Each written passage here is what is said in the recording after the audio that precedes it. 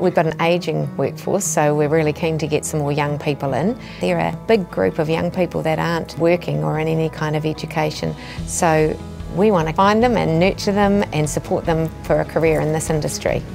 So we've had a really successful program running within Downer since 2011 called the Downer Basics program, which gives workers sort of a, a, basic skills training to start work with us.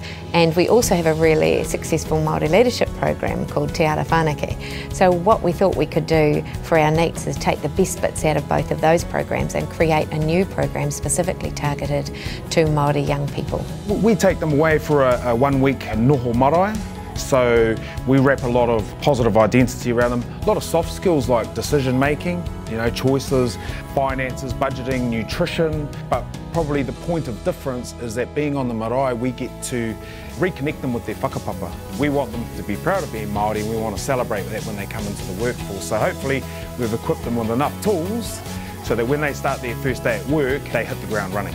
What's involved is more like confidence building and they build you up to be a future leader. We're all hard workers, we're all whānau, eh, you know.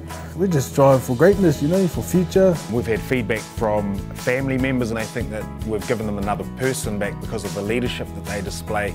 Everybody that was taken on that program is still working with us. So to see the way that we can take young people, wrap the support around them, give them a career pathway and see them on the road to success is what makes my job worthwhile aspirations is to continue on the path I'm on now. I've been asking if there's any future courses, you know, I would love to go and share my story with them and say this is what you can get within six months if you just strive for your goals and plan your future.